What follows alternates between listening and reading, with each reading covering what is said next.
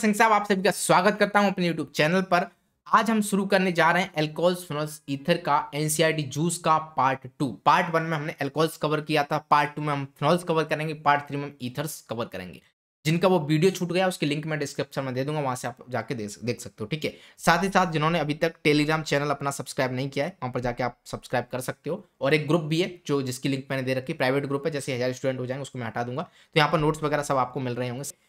तो फिनॉल पहले तो आपको ये पता होना चाहिए कि फिनॉल क्या होता है। ये बेंजीन है, इसके ऊपर ओएच लगा दो। इसको दुनिया किस नाम से जानती है? फिनॉल के नाम से। तो तीन चीज़ देखेंगे। एक आपकी प्रिपरेशन दूसरा इंपॉर्टेंट नेम्स और तीसरा इसकी केमिकल रिएक्शंस क्या इसकी केमिकल रिएक्शंस होते हैं? चलो तो सबसे पहले हम इसको बनाते कैसे? पहला सिंपल तरीका है from benzene sulphonic acid sulphonic acid से हम किस तरीके से इसको बना रहे हैं? सल्फोनिक जनरली इस तरीके से लिखा जाता है। ना एफ़ नहीं आता है। चलो तो ये आपका क्या है? बेंजीन है। यदि आप इसकी रिएक्शन ओलियम के साथ कराते हैं, ओलियम का फॉर्मूला आपको पता होना चाहिए H two H two O seven ठीक है? तो बेंजीन के ऊपर क्या जाता है? एसओ थ्री एच आ जाता है। हमको सल्फोनिक एसिड मिल गया। फिर यदि इसकी रिएक्शन आप एच के साथ करा देते हो नेक्स्ट स्टेप में आप एच प्लस दे देते हो तो इसकी क्या जाता है? आपका ओ एच आ जाता है। हमने क्या कर लिया? फिनॉल को बना लिया। फिर दूसरी रिएक्शन से होती है from diazonium salt diazonium salt से फिनॉल कैसे बनाएँगे? ये क्या आपका एनिलिन है? यदि एनिलिन की रिएक्शन आप N NO two plus S के साथ कराते हो ज़ीरो डिग्री सेल्सियस से फाइव डिग्री सेल्सियस टेम्परेचर के रेंज में तो हमको यहाँ पर क्या मिलता है? बेंजीन डाइजोनियम क्लोराइड मिल जाता है। ठीक है, ये आपको दिखाई दे रहा है, ये कुछ इस तरीके से होता है, ये बेंजीन है। यहाँ पर आपका N triple bond N C L ये प्लस और ये माइनस इसको क्या बोलते हैं? बेंजीन डाइजोनियम सॉल्ट बोलते हैं। ठीक है, फिर यदि आप इसमें गर्म पानी डाल दो तो उड़ यहाँ से गायब हो जाता है, यहाँ पर ओ एच आ जाता है और ये N two plus S C यहाँ से निकल जाता है। तो इस तरीके से हम क्या कर सकते हैं, यहाँ पे फिनॉल बना सकते हैं। ये बेंजीन डाइजोनियम क्लोराइड की बहुत सारी रिएक्शंस हैं, जो हम अमीन्स में देख रहे होंगे, पूरा का पूरा वहाँ पर सारी रिएक्शन वहीं पे इसको प्रिपरेशन केमिकल रिएक्शन सब डिटेल में देखेंगे। फिर दूसरा है फ्रॉम क्यूमीन क्यूमीन से हम अल्कोहल कैसे बनाएँगे? पहले तो क्यूमिन समझो, इसका फॉर्मूला क्या होता है? बेंजीन पर यदि आइसोप्रोपाइल ग्रुप आ जाए, है ना, जैसे C H C H three ये क्या आइसोप्रोपाइल ग्रुप है? तो बेंजीन पर आइसोप्रोपाइल ग्रुप आ गए आइसोप्रोपाइल ग्रुप आ जाए, इसको हम क्या बोलते हैं? क्यूमिन बोलते हैं। कुछ और मत समझना क्यूमिन है है ना? कुछ भी सोच सकते हो आप, ठीक है? फिर जब हम इसकी रिएक्शन O2 के साथ कराते हो तो ये जो H है ना, यहाँ पर ओ ओ ये परोक्सा लिंकेज आ जाती है ओ ओ एच ठीक है? उसके बाद आप क्या करो? हीट करते हो तो इसको हटा दो यहाँ से, है ना? ये आपका निकल जाएगा ओ एच इस पर आ जाएगा, गिर जाएगा बेंजीन और ये अलग हो जाएगा। C S three C O C S three direct question में इसमें स्पेस से पूछ लिया गया, इतना इंपॉर्टेंट है, ठीक है? फिर है दूसरा हेलोअरिन्स हेलोअरिन से कैसे बनाओगे? ये आपका क्लोरोबेंजीन है, इसकी रिएक्शन आप एनओएच के साथ करवा दो, नहीं होगी। बट एनओएच के साथ रिएक्शन करवाते साथ यदि आप यहाँ पर टेम्परेचर ले लेते हो कितना? छः सौ तेईस कैलविन प्रेशर ले लेते हो तीन सौ एटीएम तब ये रिएक्शन हो जाती है, हमको क्या मिल जाता है यहाँ पर? आपका ओ एच ओ माइनस आ जाएगा, क्योंकि बेसिक मीडियम है, ठीक है? फिर आप क्या करो इसको एच प्लस दे दो तो यहाँ पे ओ एच आ जाएगा। इस प्रोसेस को हम क्या बोलते हैं? डाउस प्रोसेस क्या बोलते हैं? डाउस प्रोसेस तो डाउस प्रोसेस भी आप क्या कर सकते हो फिनॉल बना सकते हो। ये कुछ प्रिपरेशन थी और सिंपल थी, ठीक है? इसके बाद कुछ इंपॉर्टेंट कंपाउंड्स जैसे ये आपका क्रीसोल है। फिनॉल है ना? इस पर बेंजिन पर क्या है? आपका ओ एच आ रहा है और सी एस थ्री फिनॉल पर सी एस थ्री तो इसको हम क्या बोलें? क्रीसोल बाकी ऑर्थो मेटा पैरा आप देख सकते हो। यदि यहाँ पर ऑर्थो है, यहाँ पर आ जाएगा मेटा, यहाँ पर आ जाएगा पैरा। इसके बाद कैटेगोल की बात करते हैं तो ओ एच ओ एच दो ओ एच आ रहे हैं, ये क्या है? ऑर्थो है, ठीक है। यदि ये मेटा पर जाते हैं तो इसको हम क्या बोलते हैं? रिसोर्सिनोल यदि ये सामने सामने जाते हैं तो इसको हम क्या बोलते हैं? हाइड्रोक्यूनोल या फिर क्यूनोल तो ये कुछ कॉमन कंपाउंड से जो आपके एनसीआरटी में दिए हुए हैं, ठीक है। ये जितने भी फ्लो चार्ट्स आप देख रहे हो, ये इनकी हेल्प मैंने लिया ओसवाल बुक से। आपने कई बार इसका नाम भी सुना होगा, ठीक है? डिस्क्रिप्शन मैंने लिंक दे रखी है। तो मिड टर्म टू के लिए या फिर जेई नीट के लिए आप वो बुक्स खरीद सकते हो। सब जगह वो अवेलेबल है। ऑनलाइन भी ले सकते हो, अपने नियर स्टोर से भी ले सकते हो, ठीक है? और क्लास ट्वेल्थ जे नीट सबके लिए अवेलेबल है। तो मिड टर्म टू में जो भी आपका सिलेबस है, नया पैटर्न है, उसको ये लोग फॉलो कर रहे हैं। असरसन, रीजन कंप्रीहेंसन वेस सारे टाइप के उसमें क्वेश्चन हैं, ठीक है? तो ओसवाल डॉट कॉम इनकी वेबसाइट या फिर अमेजन से भी इसको बाई कर सकते हो। तो आप देख लीजिएगा, लिंक मैंने डिस्क्रिप्शन में दे रखी है। तो शुरू करते हैं फिर केमिकल रिएक्शंस ये आपका क्या है? फिनॉल फिनॉल की केमिकल रिएक्शन देखते हैं। सबसे पहले, यदि आप इसकी रिएक्शंस करवाते हो B R two C H two और टेम्परेचर क्या है? दो सौ तिहत्तर कैलविन है ना? दो दो चीज़ें होती हैं। देखो, इसको मैं थोड़ा सा जूम कर देता हूँ। ये आपका फिनॉल है। यदि आप इसकी ब्रोमीन के साथ रिएक्शन करा रहे हो, एक ब्रोमीन वाटर होता है, दूसरा ब्रोमीन ले रहे हैं और आपका सॉल्वेंट क्या ले रहा है? सी एच टू यहाँ पर क्या है? वाटर है। तो इस केस में सिर्फ़ और सिर्फ़ मोनोब्रोमीन ही आएगा यहाँ पे। ठीक है? एक बी आर आएगा, ये आपका पैरा पर आ सकता है। और तो पर आ सकता है। ऑफकोर्स पैरा वाला क्या होगा? मेजर होगा और तो वाला माइनर होगा, क्योंकि वहाँ पर थोड़ा सा रिपल्सन आ जाता है स्टेबिलिटी कम हो जाती है। ठीक है?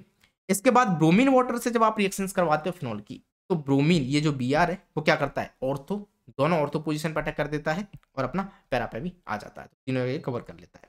ठीक है? तो इसके बेसिस पे तीन चार क्वेश्चन इन्होंने पूछ रखे हैं, सिर्फ़ इन दोनों के, इस पे और इस पे। जे में से तीन चार क्वेश्चन पूछ सके तो आप देख सकते हो कितना ये इंपॉर्टेंट है। ऑफकोर्स यूनिट में भी आए और एडवांस में भी यहाँ से क्वेश्चन पूछे गए हैं। तो ये पोर्सन बहुत ज़्यादा इंपॉर्टेंट है। इसके बाद, यदि आप इसकी रिएक्शन कंसनट्रेटेड एच के साथ कराते हो कंसनट्रेटेड तो भी आपका एनओ टू कहाँ पे आ जाता है? सब जगह आ जाता है। ऑर्थो पर, दोनों ऑर्थो पर और एक पैरा इसको हम क्या बोलते हैं? पिक्रिक एसिड क्या बोलते हैं? पिक्रिक एसिड इसकी यदि आईपीएससी नेम की बात करो तो क्या टू फोर सिक्स एक वन अच्छा one two three four five six ठीक है। टू फोर सिक्स डाइनाइट्रोफिनॉल इसका क्या है? आईपीएससी नेम है। तो वो भी कभी पूछा तो देख लेना। फिर यदि आप फिनॉल की रिएक्शन यदि आप फिनॉल की रिएक्शन किसके साथ करवा रहे हो? जिंक डस्ट के साथ करवा रहे हो। तो हमको क्या मिल जाता है? डायरेक्ट आपका बेंजिन मिल जाता है।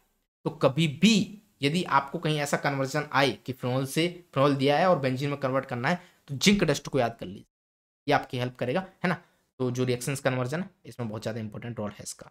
इसके बाद यदि आप फिनॉल की रिएक्शन डायलूट एच के साथ करवाते हो, पहले कंसनट्रेटेड लिया था, अभी डायलूट ले रहे तो डायलूट कंसनट्रेटेड में क्या होता था? NO2 की मात्रा ज़्यादा है तो वो दोनों और तो पैरा पर जा रहा था। यहाँ पर एक ही जाएगा तो NO2 एक बार और तो पर जाएगा, एक बार पैरा पर जाएगा। अब आप इसमें तो एक्सपर्ट हो मेजर माइनर कौन सा होगा, है ना? तो ऑफकोर्स ये क्या होगा आपका? मेजर और ये क्या होगा आपका? माइनर ठीक है? ये मेजर क्यों होगा क्योंकि यहाँ पर रिपल्सन कम होगा, यहाँ पर रिपल्सन ज़्यादा हो जाएगा। इसके बाद एक और इंपॉर्टेंट रिएक्शन है। Na2Cr2O7 और H2SO4 के साथ जब यदि आप इसकी रिएक्शन करवा रहे हैं तो बेसिकली ये क्या होता है, इसका ऑक्सीडेशन हो जाता है और हमको बेंजोक्यूनोन मिल जाता है, कुछ इस तरीके से, है ना? यदि आप सिंपली इसको देखो तो इस तरीके से भी आप इसको बना सकते हो।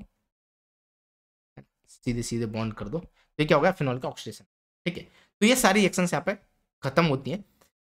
अब दो इंपॉर्टेंट रिएक्शंस नेम रिएक्शंस जो कि बहुत ज़्यादा इंपॉर्टेंट है और इसको कई बार पूछा जाता है, इसको समझ लीजिए। बोर्ड में भी दे दनादन पूछते हैं, वो लिखवाई लेते हैं, चार नंबर का दे देंगे, दो नंबर का दे देंगे तो उसकी डेफिनेशन लिखो प्रोडक्ट लिखो, सब सिंपल है। जब फिनॉल की रिएक्शन आप C H C L three K O H के साथ कराते हो C H C L three plus K O H second step आप एच प्लस दे देते हो, तब हमको यहाँ पर क्या मिल जाता है? और तो पोजिशन सी एच ओ आ जाता है।